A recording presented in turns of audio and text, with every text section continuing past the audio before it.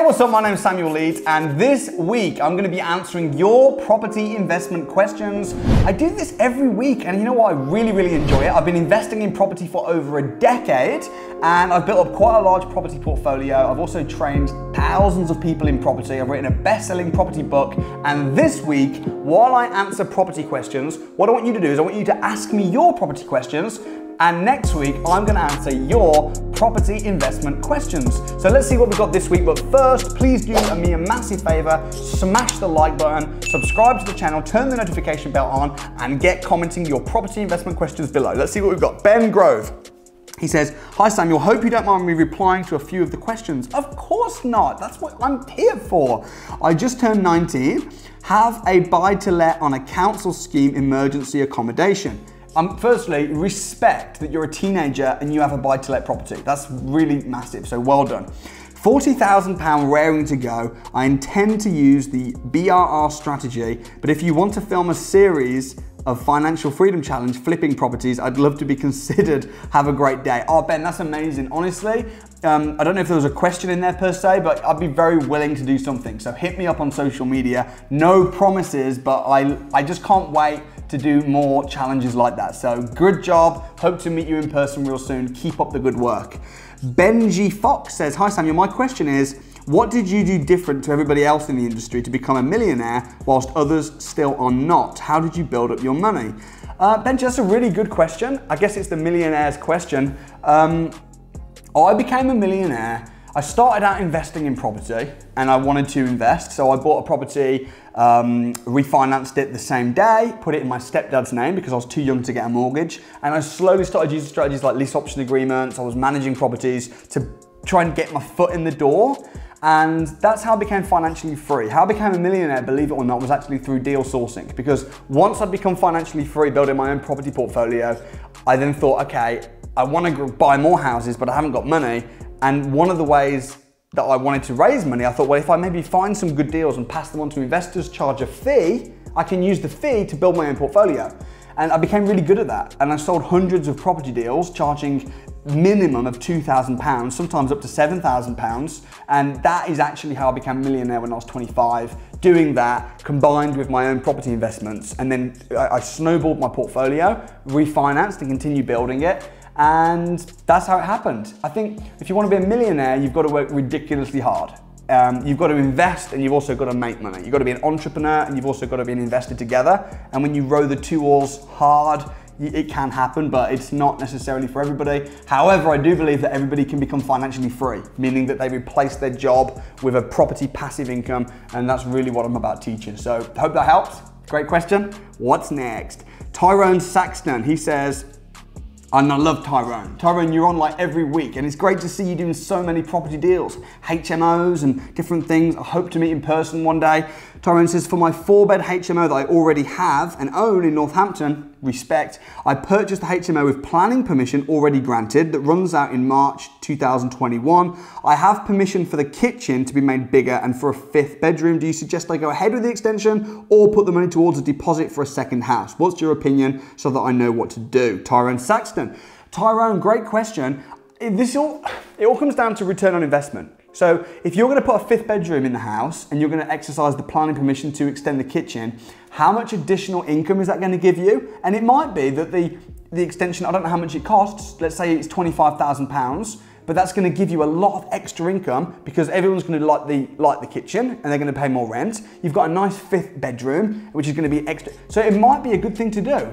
However, my gut feeling would probably be that you'd be better off to put that towards buying another property because then you've got two houses, you've got two lots of rents, you've got two lots of capital appreciations. Probably would be better. I wouldn't freak out about the planning permission because even if it lapses, you're probably going to be able to renew it anyway. The fact that they gave it you once, it's not like you're asking to do something crazy. But my advice would be do the figures on both and see what's giving you the best return on investment and then make a decision. Good luck. You should document it, vlog it. I'd love to watch. Okay, um, MW2002 Fitness. Hey, good to see that you're into fitness. Great stuff. Uh, hey man, do you know when your crash courses are opening again as I still have a ticket from when I purchased one of your books? Great stuff. I'm really itching to, you know what? I love doing YouTube. Absolutely love it. More than YouTube, I love running training, live training programs. And not being able to do that for these last few months has been weird and I'm itching to get back to it. So I promise, as long as the government allows it, as soon as they allow it, I'm gonna be back to running events again. So I don't know when it will be, maybe September time, we'll see. But I'm itching just as you are, and I'll see you there. Alex Ives, hi Samuel, do you need C3 permissions for rent to SA? No, you do not need um, planning permission or, C or to change it to C3 unless the council requires it. But normally to run a property serviced accommodation, you don't need any planning permission. There are exceptions, such as in Greater London, you do. So my suggestion would be to contact the council and ask them the question. And if they don't know, um, and you, what you're gonna say is you're just gonna say, for short stay lets, do you need planning permission? Do I need C3? And if they're not sure, you can always apply to get pre-planning um, but I doubt you would be, and I doubt, they're, they're gonna know. If you're in the council, they're gonna know. So it depends on where you are, but probably not. And to be honest, if you're doing rent to I wouldn't even bother working in an area where you need planning permission to do a serviced accommodation because you don't even own it. So but you don't want to change the planning on a house that you don't even own. I hope that helps. Good job. I look forward to seeing your results. Tommy7773 says, and what happens when house prices drop and tenants can't pay bills due to lack of jobs? That's a pretty pessimistic thing to say. Um, well, firstly, let's hope that that doesn't happen.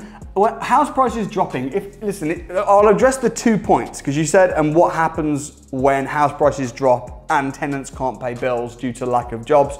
If house prices drop, it's not really that bad because if you own a property that's giving you rent unless the plan is to buy it to sell it, you just continue getting the rent as normal. So it doesn't actually matter if it goes down. Property prices go up, they go down, they go up, they go down, and it doesn't really matter unless you're selling, and then it's a pain, yes. My advice would be to not worry about whether it's going to go up or down, worry about the cash flow of the property. Because the definition of an asset, and your property should be an asset, is something that puts money in your back pocket every month. So if it drops in price for a bit, it doesn't matter as long as you continue to get the rent. Next point though is, what about if tenants can't pay bills due to lack of jobs? I don't think that's gonna happen, and here's why. Due to lack of jobs, if people do, if there is big unemployment and people lose jobs, statistically and historically, actually rents go up and the reason is, is because if people are struggling financially because of unemployment and um, job um, lack of jobs, then they haven't got that much money. So instead of buying, because they can't afford to buy, they rent, because you've got to live somewhere. So actually, if there is a lack of jobs, rents will probably go up, especially rents that aren't like luxurious mansions, like HMOs. If you're renting at HMOs, room rents go up a lot in a recession. So I, I, I, think that you just need to be probably a little bit more optimistic and make sure you're buying the right kind of properties and not relying on, um, on, on it going up high fast. But in some areas, property prices aren't going to rise anyway. So I think it's a whole big discussion. I'd love to chat to you, and I hope you found that answer helpful. Robert Thomas.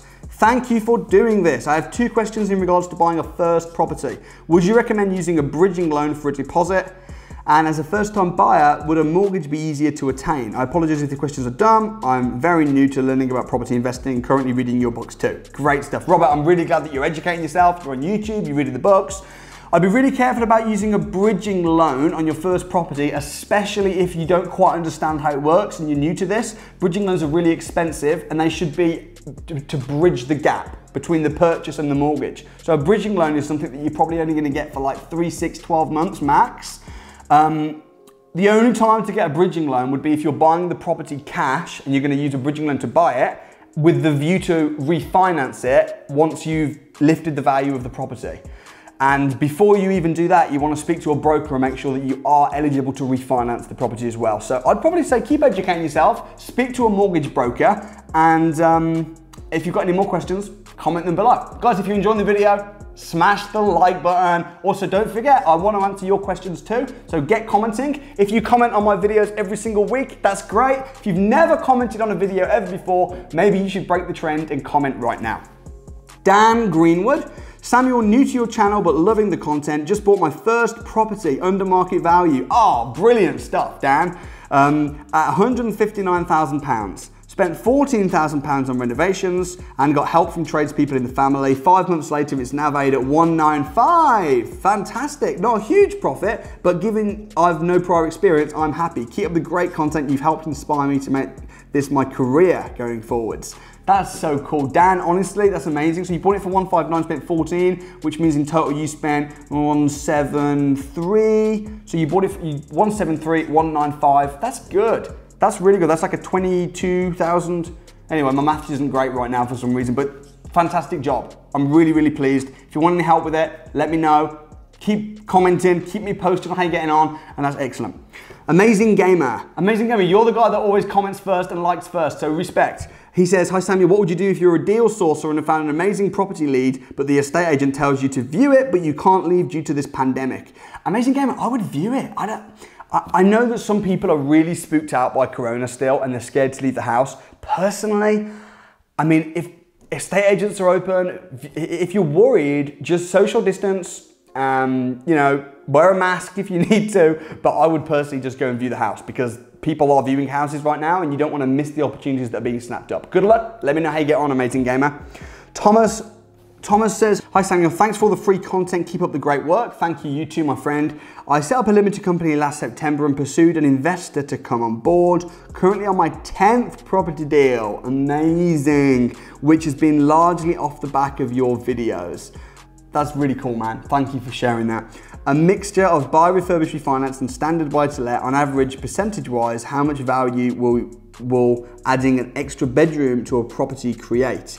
Firstly, massive, massive respect, well done. 10th property. You know what? The fact that you guys commenting on the channel now are so different to two or three years ago. Two or three years ago, it was all like, oh, what's a BRR and what's a HMO? Now people are saying, I'm on my 10th deal, I'm almost financially free, I've got this third HMO. Like, honestly, um, it's really, really satisfying for me. So I'm, I'm even feeling like emotional right now saying this, which is weird for a Q&A Sunday video.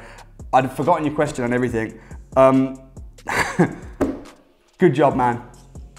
It's really, really good to see. Okay, on average, percentage-wise, how much value will adding an extra bedroom create? Um, it depends on the um, house. So, okay, depends on the house. Adding an extra bedroom, um, I would probably suggest speaking to an estate agent in the area because if it's a HMO and it's like a four bed HMO and you want to turn it into a fifth bed HMO, that's going to add quite a bit of extra value because you're going to increase the rent a lot. Whereas if it is um, like a two bed house and you turn it into a three bed house, but there's not much price difference, maybe go on Rightmove and see the difference between two bed and three beds and speak to estate agents because it really depends on area and stuff. So, uh, but honestly, respect, hope to catch up. Uh, Hazma, hi Sam, can you use money from a remortgage as a deposit on a buy-to-let mortgage? Yes, you can. If you refinance a house, you can use that money to do whatever you want, and I would suggest that you do use it for that purpose. Uh, okay, one more. Some say Altama. Haha, you're right about what you said about me, Samuel. I remember. I made a prediction from your question. You commented for the very first time. I made a prediction on your whole life story and I was right. There we go. That's really good. Um, yes, I have had a well-paid job, which I hope to give it up to a concentrated uh, to concentrate on my property business. I think now I am financially free. Respect for what you teach. That's just awesome. You guys need to apply to come on the YouTube channel where I can interview you. Listen, if you've become financially free, or if you've even got like a great story, honestly, there's nothing that makes me feel better and more fulfilled. And there's nothing I prefer doing apart from running events than sitting with people in my house and interviewing them on my YouTube channel on Winners on a Wednesday. So listen, guys, you're clearly killing it. I'm really glad. Go on winnersonawednesday.com, share your story with me, and I'd love to interview you and, and chat with you and inspire more people. Because you know what? Success breeds success, which means my success, as I've shared that with you, has helped you. And then as you share it, will help other people. And I really believe that together we can make the world a better place by educating people about finances. The schools have failed to do it. The schools do, I love, I love the schools, but as far as finances are concerned, they failed.